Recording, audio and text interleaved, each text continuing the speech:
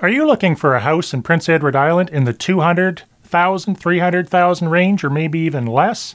Yes, you can still buy a house in PEI for under $300,000, maybe even under 200. But good luck getting your contract accepted because here's what's happening.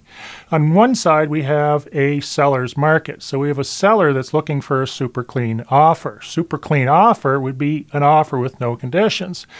On the other hand, we typically have first time home buyers or people entering the market for the first time or looking for an entry level home. That's why they're in the ones to threes, and that's why they're bidding on these houses. The challenge comes in is because the seller is looking for a nice, clean offer. They do not want to see the normal conditions being financing, home inspection, insurance inspection, fuel tank inspection, septic inspection, condition to sell a house, and a number of other things. So, on the purchaser's side, since they're kind of nervous, and rightfully so, they don't want to write an offer where they're not protected.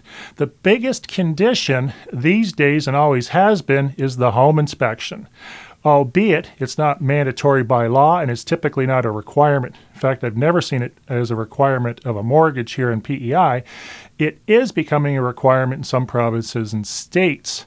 So, a home inspection to the seller is a horrible thing because that home inspector is going to come along and they're going to find out everything. Even in a brand new house, they're going to have a list of items to be fixed.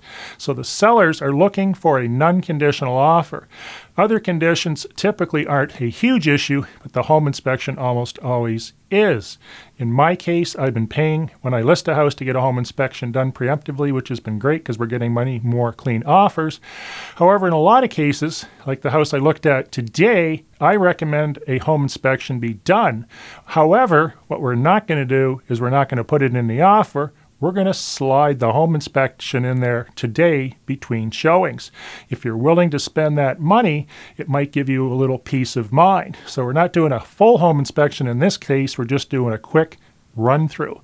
The other thing you can do, some home inspectors have offered to do, for instance, John Levy has offered to come along with you on the showings and do a quick run through at that point to make you feel a little bit better about the house that you're buying.